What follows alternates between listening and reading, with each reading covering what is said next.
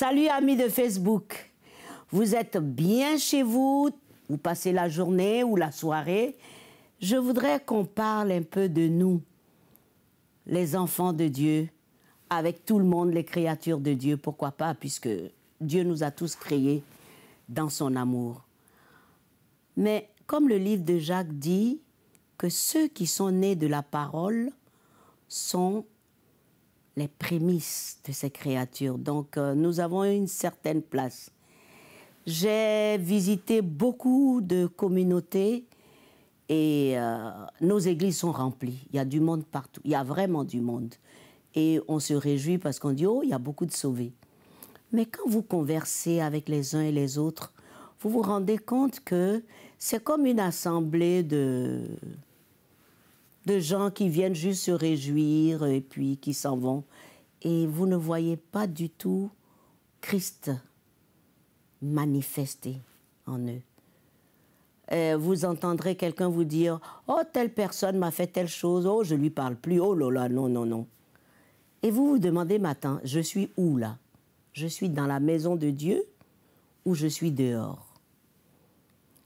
Et on va vous dire, oh, ils ne se parlent pas depuis des années, et ils viennent au même culte, ils sont au même endroit, ils dansent, ils chantent, ils écoutent le, pasteur prêcher, et puis ils repartent, et puis on ne se parle pas, on ne se fréquente pas, on, on ne se salue pas. Alors le livre de Romains va attirer notre attention. Le Romain 15, 1 dit, Nous sommes nous qui sommes forts, nous devons supporter les faiblesses de ceux qui ne le sont pas et ne pas chercher ce qui nous plaît.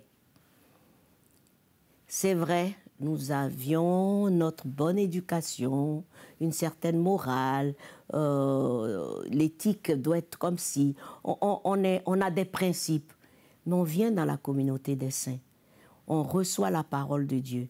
La parole de Dieu qui est une eau pure nous lave, nous transforme, nous aide à devenir meilleurs.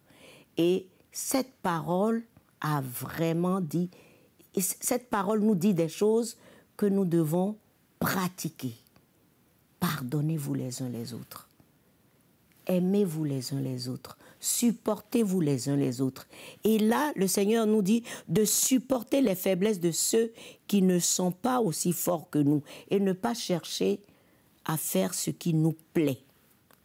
Mais que chacun de nous plaise au prochain pour ce qui est bien en vue de l'édification. Mais le verset 3 est encore plus parlant, car Christ n'a pas cherché ce qui lui plaisait. Non, entre vous et moi, qui allait aimer aller jusqu'à cette souffrance horrible, cloué, frappé, tué. Rien que pour des gens comme vous et moi qui n'avions aucun mérite. On dit, Christ n'a pas cherché ce qui lui plaisait, mais selon qu'il est écrit, les outrages de ceux qui t'insultent sont tombés sur moi. Et plus loin,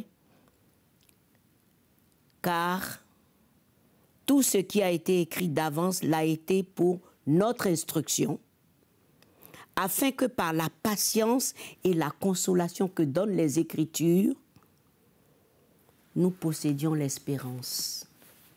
Comment pouvons-nous démontrer l'amour de Christ si nous ne parlons pas à notre frère ou à notre sœur à côté de nous? Si nous ne parlons pas à notre sœur qui est à la maison parce qu'elle ne va pas dans la même communauté que nous, comment allons-nous démontrer cet amour de Christ si nous restons rigides sur nos principes? Jésus n'a pas fait cela. Et nous devons faire très attention.